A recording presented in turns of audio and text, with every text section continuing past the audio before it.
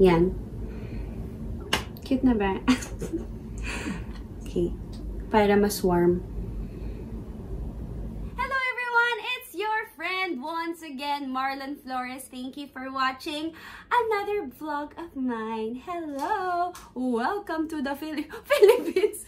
Welcome to the world. Hindi, ito na nga guys. Welcome to another vlog of mine. How are you? How's everything? If you want, you know, some catch up, message nyo lang sa baba. Comment down below kung ano mga pinagdadaanan nyo. And babasahin ko pag after nito, pag may time.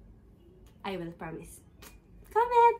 Anyway, so ito na naman po tayo sa another tips and tricks that I want to teach you guys on your well-being. Oh, ayan. Yung last video ko, last, last vlog ko, I talked about how to have an exceptional 2020. And if, you know, sinunod nyo yung mga, ano ko, mga tips ko, eto, another tip na naman for you guys. Okay, so, very important to kasi kay, alam mo, it took me how many years to learn this. And so I want to share it with you guys because it really works. And it's healthy for you. It's good for you. Sabi nga nila, healthy doesn't just mean physical. It means dapat healthy ka physical, mental, spiritual, and yun na yun. Ang dami kong masasabihin. Yun lang pala tatlo. So, kailangan healthy yung mind mo, yung spirit mo, and yung physical mo. So, exercise, um, in terms of mental, kailangan um, you know where your, your your state is at. Alam mo kung ba't mo nararamdaman yung mga, mga bagay. Kasi di ba marami, lalo na mga girls, yung mga red days natin, hindi natin alam kung bakit natin nararamdaman lahat ng nararamdaman. O, di ba? Ang drama. So, kailangan din natin mabalance yun. And syempre, the spiritual life. And ang pag-uusapan natin ngayon is how to stop stressful thinking once and for all itigil na po natin. Paano ba? Kasi ang dami nagtatanong parang lagi nilang akong stress. Anong kailangan kong gawin para naku, ma-manage ko tong lahat. Good thing, meron pong solusyon. Yes! Thank you, Lord. Merong solusyon. Okay, number one. Punta na tayo sa number one. First one is facts over feelings. Very important, especially with women. Lahat tayo may fear, di ba? And you know, fear is not necessarily negative. Because fear alerts us na may mangyayaring masama. So actually, tinutulungan tayo ng fear para mag maging careful.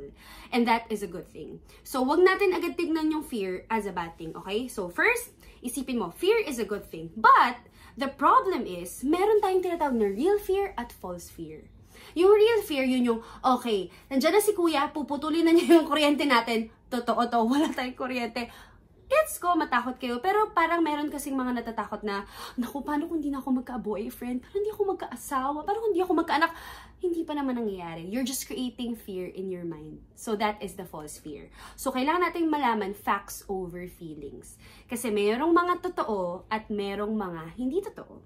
So dapat ang confidence natin sa truth kapag hindi na, kapag umaasa lagi tayo sa emotions, ang emotions natin, it's very fickle. Meaning, paiba-iba. Mamaya, masaya ako, mamaya malungkot ako. So, kung aasa ako sa nararamdaman ko, hindi ako makaka... Masistress ako. Kasi may times na, yun nga, have you heard about the word happy?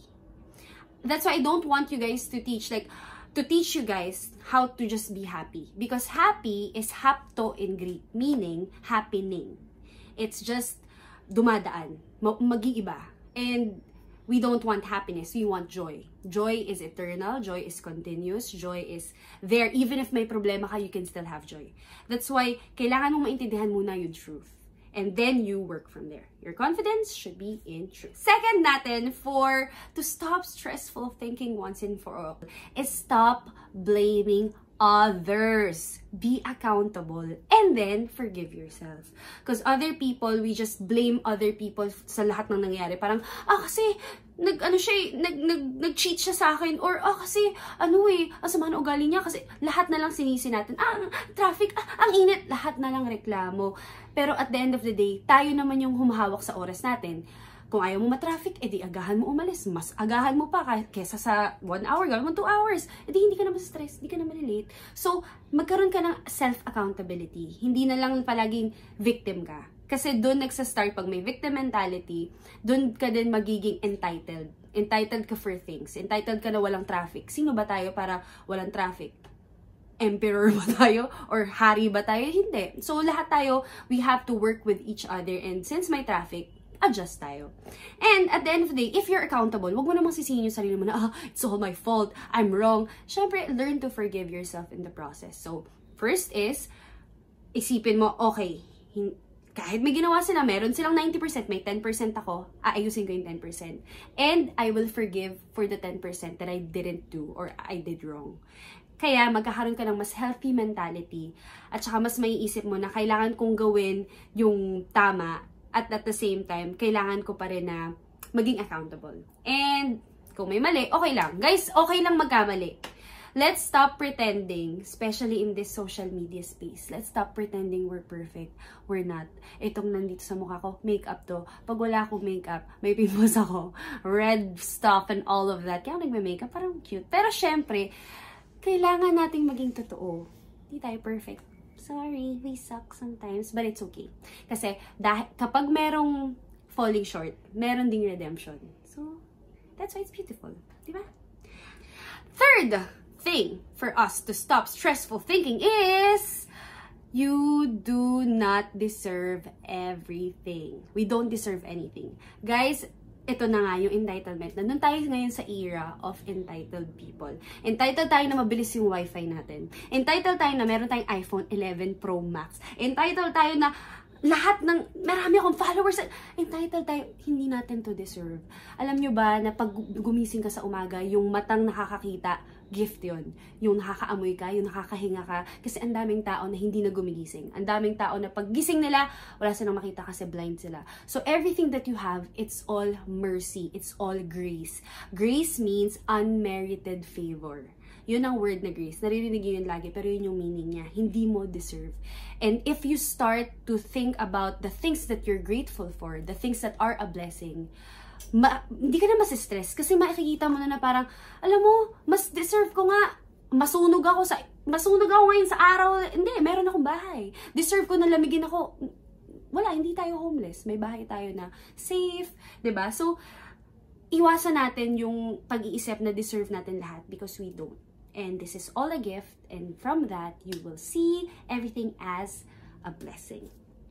for us to stop stressful thinking once and for all.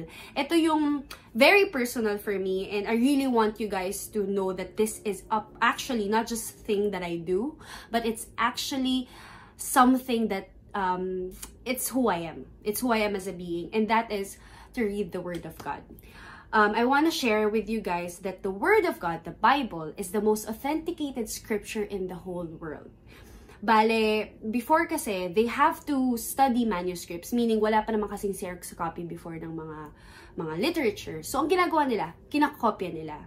And the scripture has 25,000 manuscripts. Sobrang daming translation. It's tested through time. Yeah, funny how people think na religion is just a feeling or religion is just kung saan ka lumaki. Which it can be, but if you really research, that's why I want you guys, yung number one ko kanina is facts over feelings. I want you guys to search for truth, not what you perceive or what you feel like.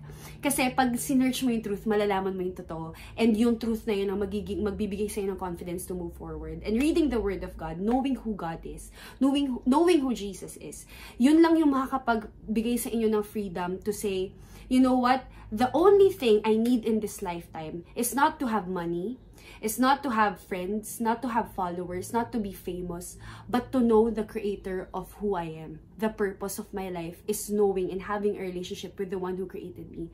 Para lang yung phone. Kung, kung ang phone, hindi mo ginamit yung function niya, hindi yung design niya, walang kwenta yung phone. Kung hindi mo ginamit yung camera, kung hindi mo ginamit, kasi ang nakakaalam nung function ng phone, yung creator. So, si iPhone, si Samsung, nagbigay sila ng function. Kung hindi mo ginamit yung function, masisira yung phone. Ganon din tayo. We have a design. We can see, we can interact, we can have relationships, we can forgive, we can be merciful, we can do all of that because we are created in the image of God. And apart from knowing who you are and who created you, hindi mo masahanap yung freedom mo. You will be stressed all your life. You will be depressed all your life because what, hindi mo alam yung purpose mo. And I think one of the things na, na reason kung ba't ko to ginawang vlog na to is for people to have that sense of security na hindi shallow. Na hindi mo makukuha dahil lang nag-click ka ng video or hindi lang dahil meron ako nabiling thing from this uh, website, 'di ba?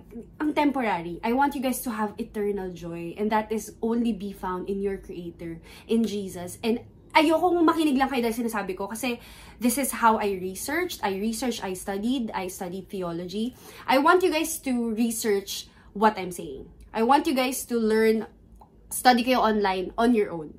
I want your faith to be yours because I can never share I mean I can share you my faith but it can never be your faith. You have to have your own faith. And search for truth. So so number one nga is facts over feelings. Know the facts. And I'm excited kung ano yung marireveal sa inyo ng truth. Nakakapit kayo doon. And i-share nyo sa akin yung mga stories nyo. I'm sure marami dito na same views with me or if you're if you have different views comment down below if you have questions i can try to answer your question god bless guys remember to seek ye first and to god be the glory bye bye Uy, comment down below ah. Tsaka subscribe. Like. Bye. Ma. Ma